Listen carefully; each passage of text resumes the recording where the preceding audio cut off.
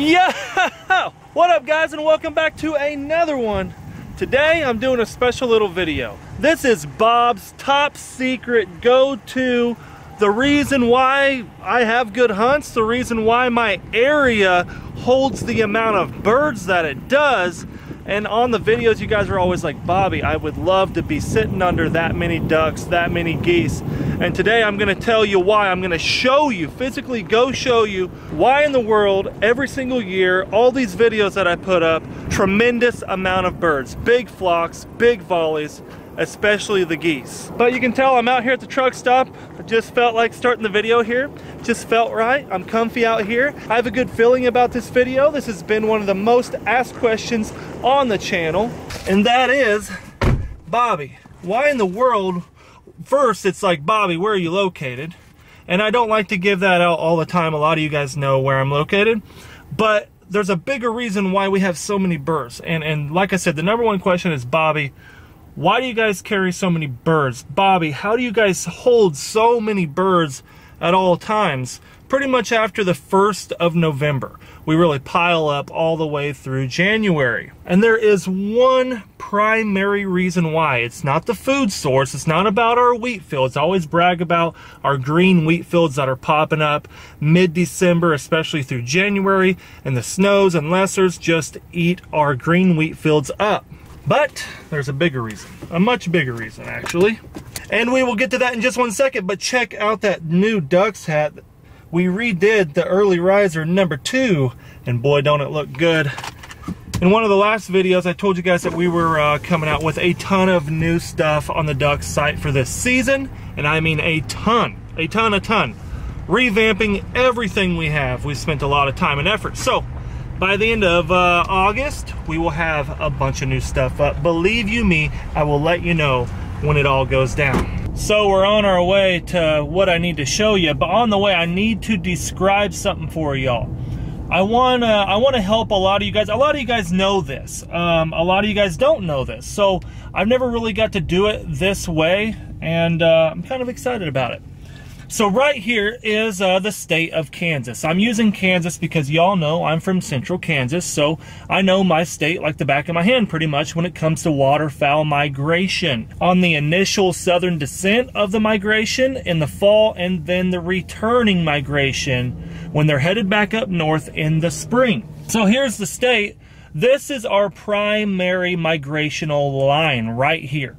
This part of the state right here. That is from north to south, south to north when they're traveling north. It don't matter. That is a primary flight line right there. Now, I'm over here somewhere in the state. Now, the big factor for me is we have the river and a bunch of highways that lead right over into our area. So over years, those highways and those river systems, geese and ducks have followed them moving across the state east. And believe you me, a lot of the birds that we get here are the older birds, a lot of adult birds. We don't shoot a lot of juvenile birds over here. We don't shoot a lot of juvenile specks. We don't shoot a lot of juvenile snows by no means. And the bands that we've killed are all from the same cubby of birds up in Nunavut, banded in 2007 and 2009. It's crazy. So we hold a lot of adult birds because they're used to traveling across the state, following those rivers and those highway systems over into my part where we're at right here.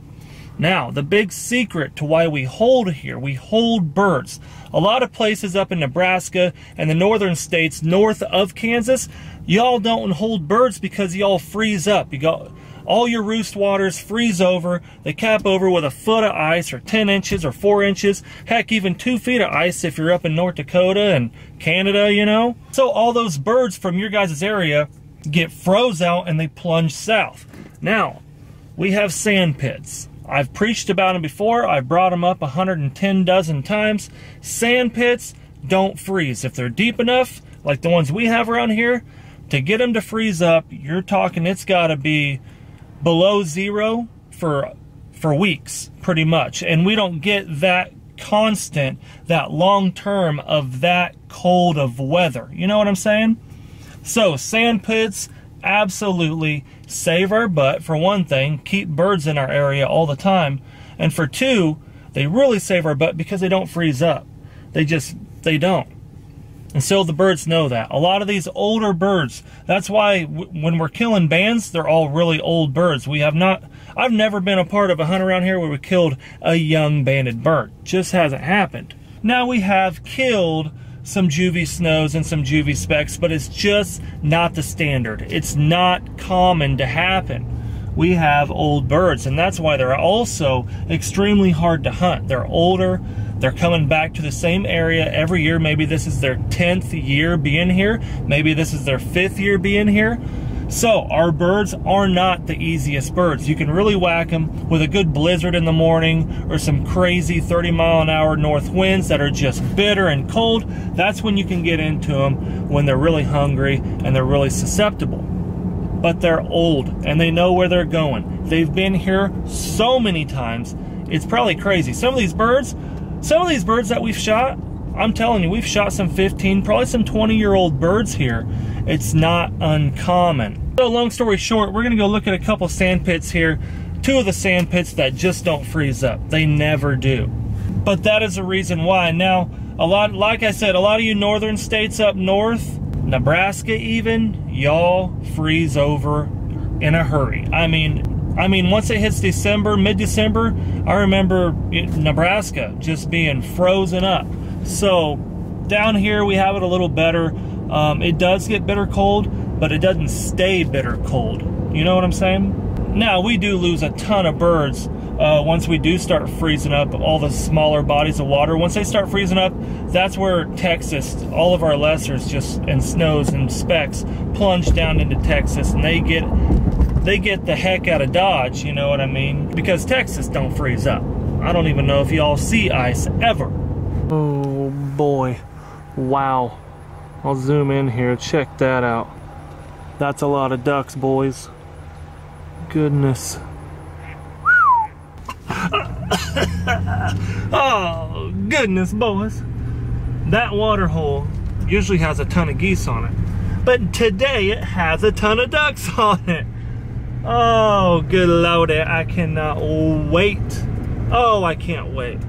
So we're headed to the sand pit now. Um, but we are almost there. But like I said, guys, uh, it's all about water. If, if, if big, big, big, big bodies of birds, big flocks, I mean thousands, big migrational flocks, you know what I mean? And birds are getting shoved down with cold and you keep getting pushes of birds when you hear, oh, we got a new push of birds. Okay. It all goes hand in hand. It all has to do with roost waters. When roost water freezes, it bumps them out of the area and they got to go south and, and they got to find open water. Just wanted to get, just wanted to get my point across there. Well, I was afraid of that. So I don't have permission to actually go on the sandpit property. I'm actually gonna try to get permission because I don't wanna hunt it, you know what I mean? That's one big thing I stress, don't hunt your roosts, guys. And but one of you guys just DM'd me on Instagram. By the way, if you haven't followed me, follow me right here. Always got juicy stuff going on over there. But one of you were like, Bobby, what's the big deal? Why do you always say don't hunt your roost? And I was like, well, if you hunt the roost and there's a bunch of birds staying on it, a bunch of birds aren't gonna be staying on it no more after you hunt it. So you gotta baby your roost. Roosts are important when you're wanting to hunt birds on uh, sheet water in the fields or maybe just field hunts or maybe pond hunts that big bodies of birds are coming off of big bodies of water like this sand pit right here, you don't want to bump them off that roost. You got to baby the roost, y'all. Because there's a lot more hunters out there. And if you go hunting a, believe you me, if you go hunting a roost and you knock their birds out as well as your birds out of the area, you knock them out, there are going to be a lot of people that don't like you. Put it that way. All right, I feel like I've walked far enough here. It's about as close as we're gonna get. But that's as far as I can zoom in. Here we are like I said, it's a very, very large sand pit. I mean, huge. And it is extremely deep. I don't know if you can see that out there, but on that island out there is actually some honkers. So there's always birds. Still, uh, during the summertime, birds stay on this sand pit all the time. This is a sanctuary. I mean, lots of birds know about this sand pit. And I mean thousands and thousands and thousands. that are way up in Canada right now, all the way north of Canada up in the tundra. And they'll be back this season. But sand pits are one of my area's biggest secrets. That's what holds the birds. They don't freeze up. They are deep enough to not freeze up. They got that deep warm water down there. I was going to uh, jump around to a couple of the different sand pits, but you know what? I don't want to be giving away all my secrets, all of them out here. I feel like I've already given one big one away already today. and another thing is, is this sand pit deal, it's not just here in my hometown. All across Kansas, if, if there's a sand pit near the flyway or near a flyway, it's going to be used a lot because birds know about it. A lot of adult birds, they know where they're going. You believe, but believe me.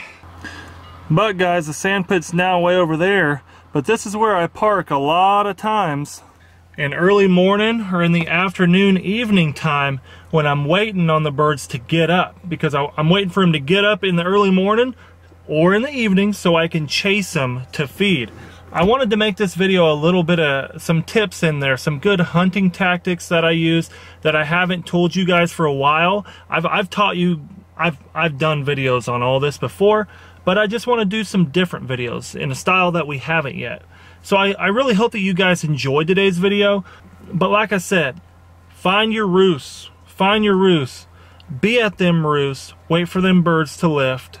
When they lift, you get underneath them with your truck or your car or your Pinto or I don't care what it is and you follow them. You follow them to where they want to sit down in the field to feed. That is my go-to tactic, especially for goose hunting. You're going to use that tactic a lot for geese. Now ducks, you can do it the same way, but ducks are a lot harder to follow for that far of a distance. If you're talking five, seven, maybe 10 miles, ducks are small and they're fast. And if it's cloudy or foggy at all, you lose them really easily. So, scouting geese this way and ducks, my go-to way. Y'all gotta try it. Find your roosts. Once you find the roost where the birds want to be sitting on overnight, get there before they leave. Follow them bad boys. But I really hope you guys got something out of today's video. I really hope you did. If you liked it, smash that thumbs up button for your boy. Let's get this video to a thousand likes, please. It only takes two, it only takes 0.2 seconds, okay? To just smash the thumbs up button for you boy. If you haven't subscribed, you need to do so. I'm coming at you guys with more duck hunting how-tos through August. I'll actually be hunting uh, August 20th. I will be in the field up in North Dakota. I was gonna wait to announce that, but who cares? Be expecting some great hunts to come. Be expecting some good pigeon trapping to come. Epic pigeon trapping, actually awesome videos to come. You don't want to miss everything, so make sure you subscribe. Make sure you hit that notification bell right down there. It'll notify you when your boy uploads. Get a little notification right on your phone. And like I said, over at DUX Waterfowl, if you guys want to help support the channel, head on over there. Check out all the new stuff we got. This hat, all of our new hats, they're not up yet. But like I said, I will let you know when they are. Thank you all for being here. We'll see you on the next one. Peace. I've been getting laid back. Baby, you should know that I don't need your criticism, pessimism. I've been keeping it on the DL Got a girl that keeps it real.